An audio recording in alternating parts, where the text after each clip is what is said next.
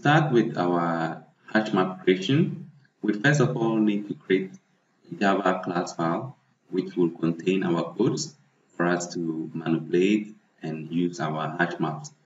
We will refer to this table which contains our student names and their respective marks for some part of our practicals. To create our Java class file, we first of all need to go to our project, go to the package, and right click and select new. In new, we pick class and give our class a name, which in this case we are calling practical HashMap. We select the methods we want and we pick the public static void and we click finish.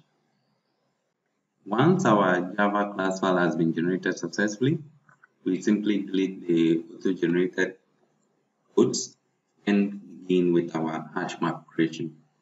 So I will be commenting so we can see what is ongoing.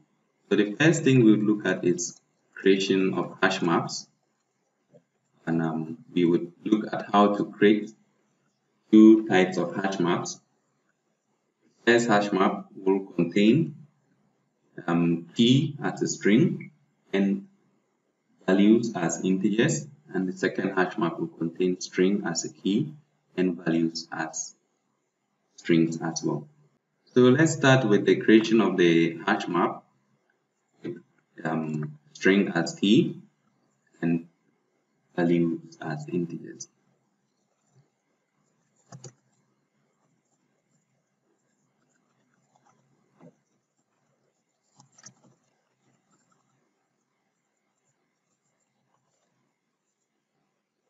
So how do we create the hash map? We learned we can use the map constructor to do that. So we simply start with a map and we specify what we want as this key. So we want a string as a key and an integer as the value. So after the specification, what name do we want to give to our hash map? Assuming in this hash map we want to store the student age, the key is the student name, and the value is the age of the student. So we call it student age. So this is the name we'll be referencing if we want to manipulate our hash map to store the student age. So we construct it and we use a new hash map to tell the map constructor that we are looking for hash map tree map. So inside the specifications, we need to declare again, we are looking for a string as a key and an integer as the value.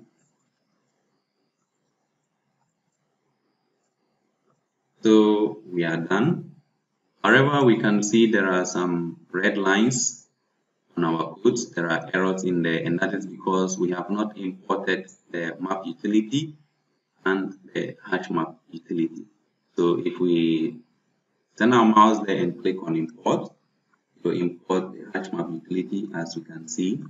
And if we import the map utility, it will import it as well. So we have created a hash map called student age and student age will take key as string and value as an integer. So let's create the second hash map it is going to take um, key as a string and value as string as well. And in this hash map, assuming we want to store the student names as key and their respective hall of residence as the value. So again, we specify we want a string as a key and string as value. So the name we give to our hash map, we call it student call and we completed. Tell the hash the map constructor we are looking for a hash map. And we are done with our map creation. There are yellow lines underlined for the two maps we created. That's because we've not used them. Once we use them these lines will go. So our first hash map is taking the key as string and value as an integer. And our second hash map is taking both key and values as strings. So we simply indicate that here this is a hash map with key as string as string as well. So now let's look at some of the methods that the hash map has which we will be able to use to manipulate our hash map. So we want to check methods in HashMap. There are a lot of methods that the HashMap provides that we can be able to use to manipulate content in the HashMap. So for us to be able to access the methods, we first of all need to call the name of the HashMap. So assuming we want to check for some methods in the student age map, we can start with the student age, student age dot. Now when we do that, a list of methods will pop up and we can see there is a method called clear and the clear will simply remove all the mappings in the hash map if the hash map initially had content in it. So after using the clear method, all the content will disappear and our hash map will be empty. We can also see uh, contains keys and the contains key method all it does is to check if the specific key we are looking for is in the map. It will return true if the key is present and false if that key is not present. We also have the contains value and the contains value basically checks for a specific value if it is in the hash map. It returns true is present and returns false if it is absent. We also have a method that we can use to check the entry set. So the entry set will simply return a set view of the mappings that is the key value pair for the objects or items that we inserted in our hash map. We also have the get object and the get object will simply look into the hash map and return a corresponding value for a specific key. So the get object here, whatever we are putting into the round bracket has to be a key in the map. If the key is present, it will return the corresponding value. If the key is absent, it will return null to show that there is no key in the hash map. We also have a method that we can use to check the map is empty. So the dot is empty will return true if the map is empty and false if there are content in the map. Then we also have the key set and the key set basically returns all the keys, the unique keys we have in our hash map. So for example, we want to search for a key and we do not know the keys that are in there. We can print out all the keys and know which key we want to look for. We also have what they refer to as the dot values and the dot value returns all the values that are in the hash map without their keys. So we also have what they refer to as the dot size and this dot size simply returns the number of key value pair mappings that are in the map. We'll play with some of these after we've learned how to insert content into our map. So the last one we'll look at is the dot put and the dot put we are simply trying to use this one to insert content into our hash map. So how do we add content to our hash maps? We learn we can use the dot put to add content to our hash maps. So try with the two hash maps we've created where one of them has key as string and value as integer and the other as key as string and value as integer as string as well sorry. So we know that the student age map is the one that has the key as string and the value as an integer. And assuming we want to store our students and their ages, where the name of the student is a key and the age is the value, we can simply use the student age group.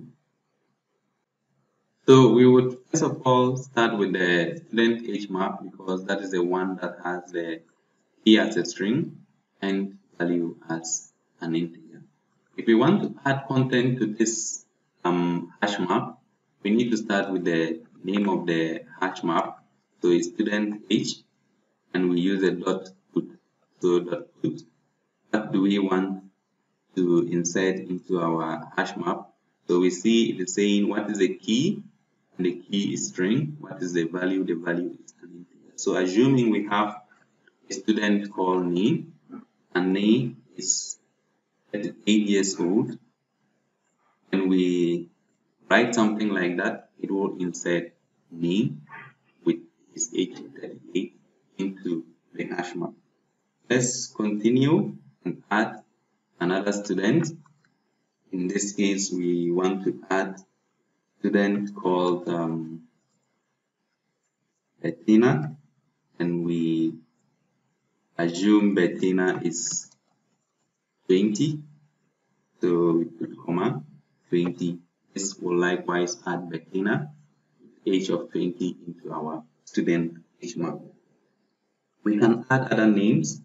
For example let me just copy this and edit so I copy and I edit and assuming we have another student called Samuelis and Samuelis is 16 and we have another student called Evelyn.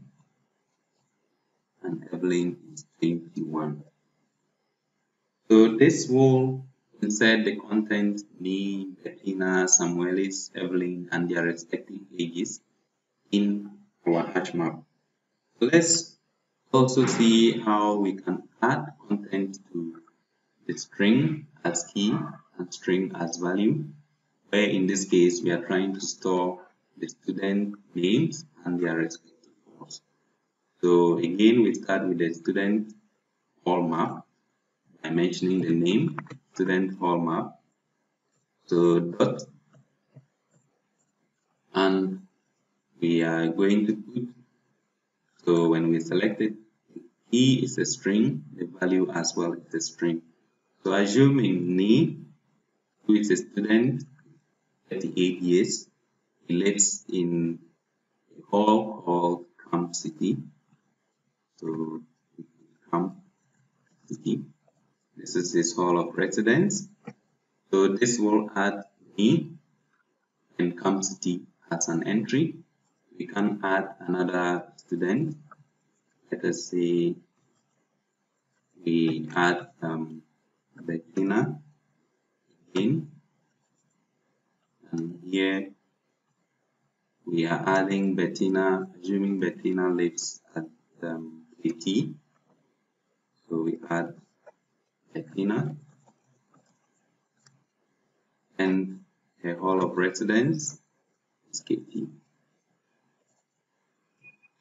um, so again I would copy and I copy, paste, and instead of Samuelis, let's add Evelyn first before add Samuelis. So Evelyn, assuming Evelyn lives at Novotel, and Samuelis lives at Coldor.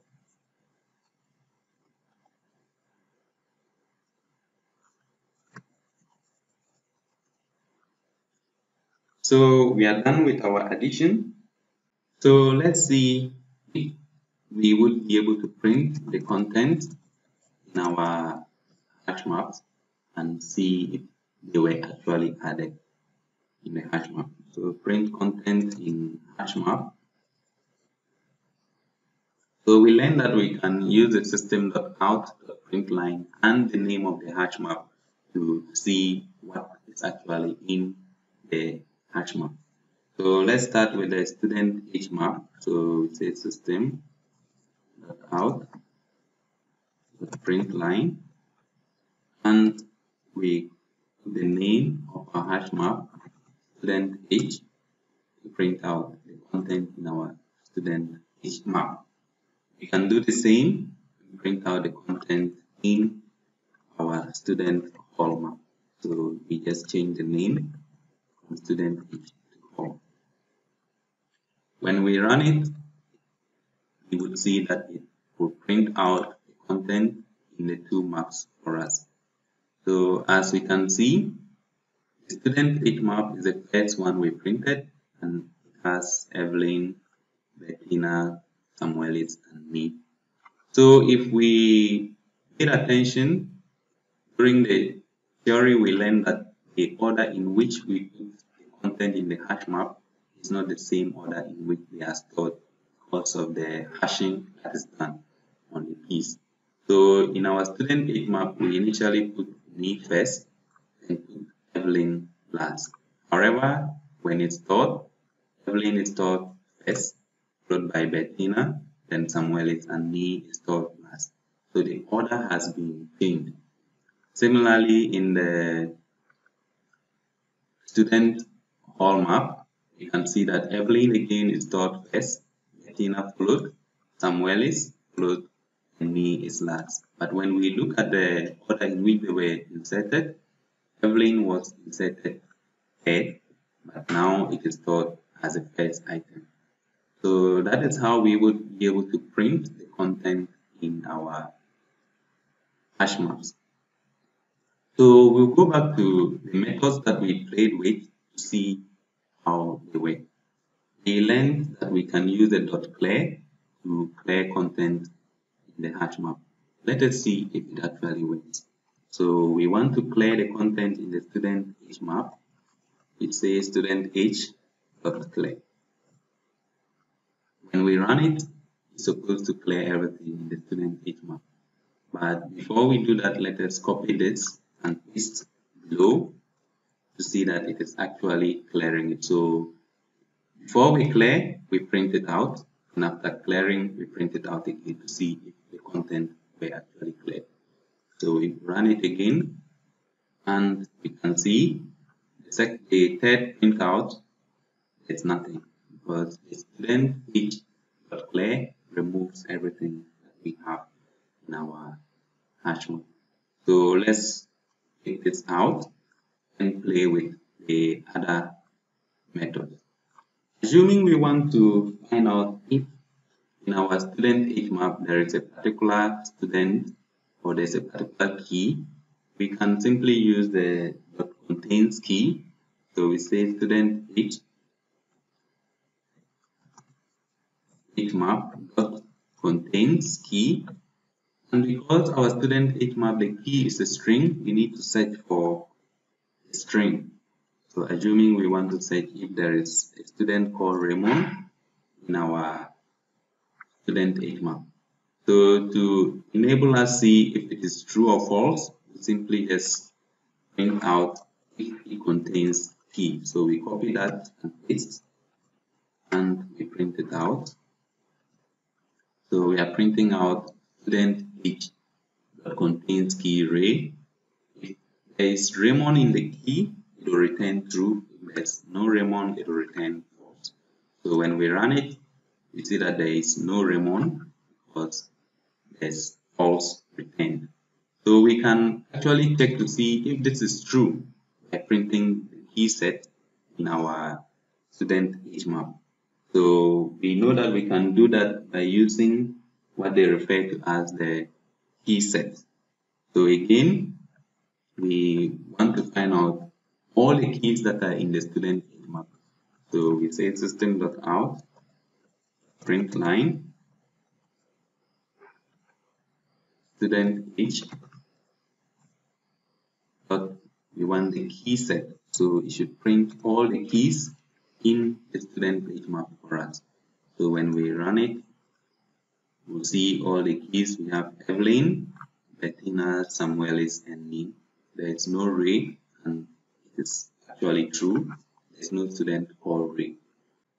So we could have also searched for a student H to see if there's a student in the class that is probably, let's say 21. So we simply say system.out student age dot contains value and the value we are looking for is an integer so we put 21 and we run it. So if there's no one in the class it as 21 we'll get a false. If there's someone we'll get a true returned so we run it again and we can see the first false is for searching for Raymond and the second the, the true we have is for searching for 21 so it means there's a student that is 21 years old in our class. So we can check to see all the values. Is it actually true that there's 21 as a value in our class? So we simply print it out again. And in this case instead of printing the key set we're going to print only the values. So we want to type student age dot values and we should print all the values that are in our student age map